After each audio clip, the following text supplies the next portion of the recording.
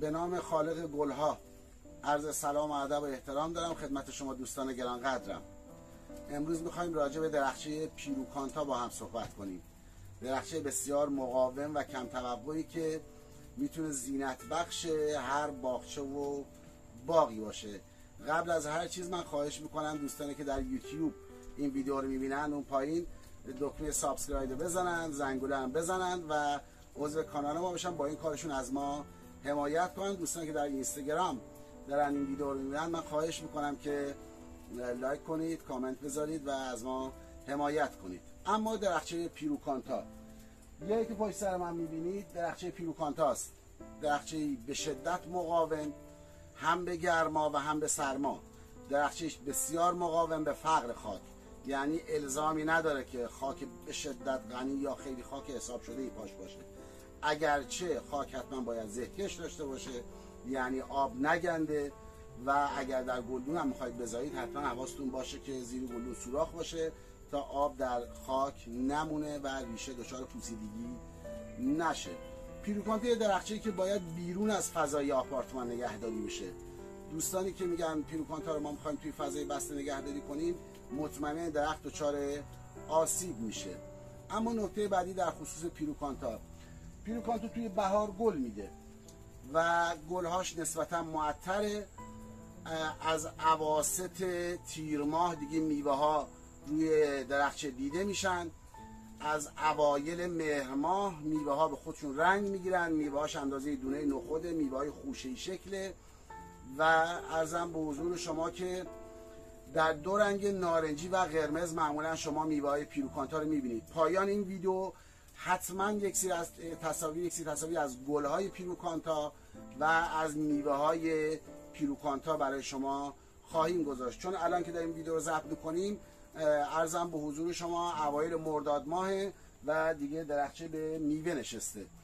امروز یک نکته رو می‌خوام بگم. دوستانی که مایلند دور باغشون رو دیوار سبز یا پرچین گیاهی ایجاد کنند من توصیم یکی از درخت هایی که می‌تونه این کار رو برای شما به نحو احسن انجام بده درخچه پیروکانتاست. توصیه می‌کنم حتما ازش استفاده کنید چون می‌تونه یک پرچین پوششی امنیتی ایجاد کنه.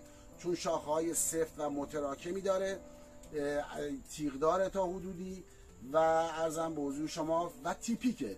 یعنی که شما می‌تونید پیروکانتا رو در تیپ ها و شکل های مختلف حرس کنید و پرچین های درجه که می‌تونید با پیروکانتا ایجاد کنید.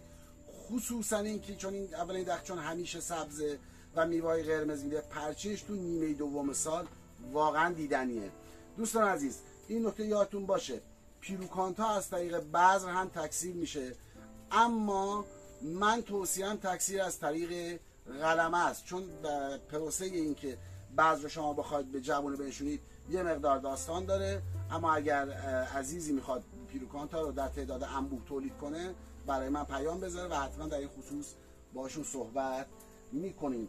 نکته دیگه در خصوص پیروکانتا این که قلم گیریش در چه زمانیه؟ پیروکانتا اواخر اسفند بهترین زمان برای قلم گیری از پیروکانتا است قلم های 10 الی 20 سانتی رو می‌تونید از پیروکانتا بگیرید خواستگاه گیاه پیروکانتا شرق آسیاست.